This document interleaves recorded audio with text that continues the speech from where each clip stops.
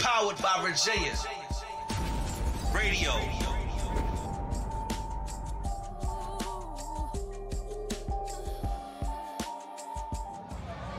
All right, folks, thank y'all for coming. And listen, this is Big Al. I'm with, sitting here at, at Bar Louie's, and we are we are invited by the Office of Youth and Young Adult Opportunities, and we thank them for the invite.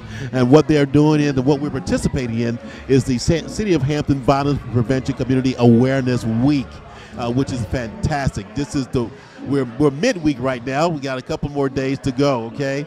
But right now we're at Bar Louie's, and uh, I'm talking to another uh, community hero of the 757, and his name. Vern, Wa- Vern Watkins. Uh, Vern, Vern, you didn't put your name down, bro. My bad. I was more focused on the title. You know, all right, and Vern Watkins. Hey, Vern, thanks for coming by. I appreciate you, it, man. Appreciate it. Again, this is my name is Big Al. And Vern, uh, tell me who you are. Tell me what you do. Okay, cool, man. So, like I said, Vern Watkins. Um, I'm the mortgage community liaison for um, Truist Bank uh, for the whole entire Hampton Roads. I'm also a business owner.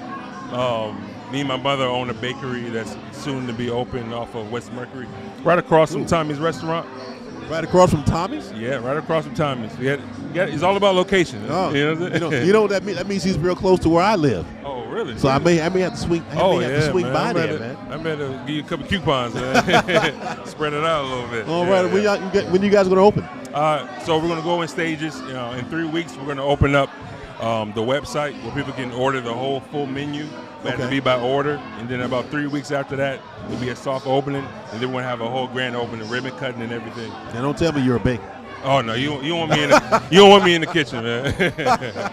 Yeah, I hey, listen, to the business part. Yeah. hey, listen. If you ever want that to be, if you ever want, you, if you want us to want us to live stream it, we we can live stream that for you, man. Film it for you. Absolutely. So you can for as I don't have to get involved, I'm good. No Yeah. problem, man. Just Yeah, let, I don't want to embarrass give- myself. I'm gonna give you my card. You just let me know. Absolutely. Okay. But listen. So uh, at, now you're with Truist Bank, okay, sir. and you said you're the uh, the mortgage Community liaison. mortgage community liaison. Now, why do we need a mortgage community liaison?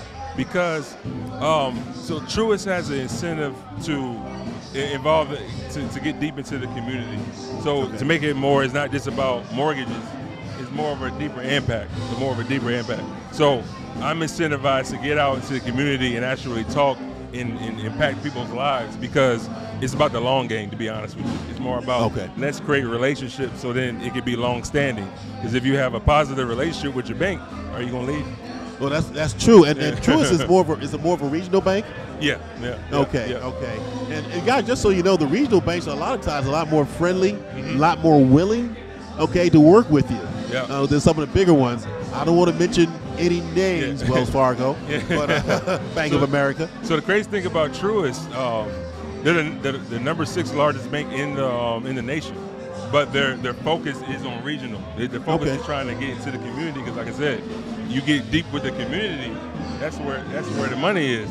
That's You know? true. That's true. And, you know, and uh, now and and as far as as far as Truist is concerned, you, you so do, do you go out to the community or, or or do they come to you or how does that work? I, I go to the community. I, I uh, um, uh, sponsor. I uh, volunteer.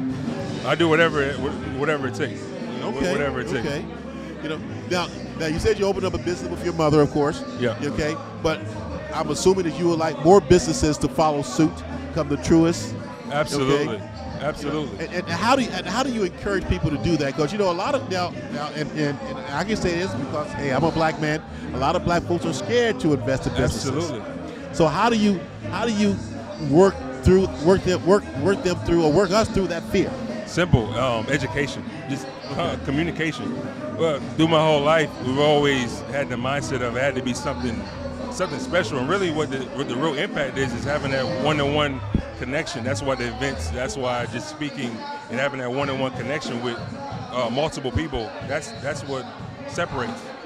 And that's why they put so much incentive in Right. putting me in the community because you can't there's nothing else you can do about it. You know, you can't you can't someone a text and say, "Hey, come to Truist."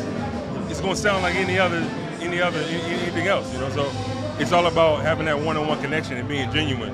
Yeah, and, I, and folks, I, I love this because this is the kind of information that we need. Okay, and uh, we, we have uh, and we have Truist. And there, there may be others doing the same thing, but they're not here. Yeah. Okay, they're not here, and that's what he was talking about. He said, "I, I just go everywhere." Yeah. You know, so he's here. Yeah. You know, and he, we- we're putting him on camera there. Okay, he's gonna he's gonna he's live streaming right now to YouTube. Live, so. baby. You know, so so, uh, so we certainly appreciate it, man. We appreciate it. By the way, if you have any advice for any, anyone that wants to wants to invest, any advice for anyone that's choosing a bank, any, what, uh, what kind of advice? What's the best advice you can give to someone financially? Do your research and don't be afraid to actually go out and talk to different banks. Go to one bank, have a conversation with them because they're all trying to fish for your attention. They're all trying to fish for your account. Go in, get their brochure, get their information, go to the next one. Can't be lazy about it. There's no dodging it. You can't be lazy about it. You got to be intentional about what you want in life.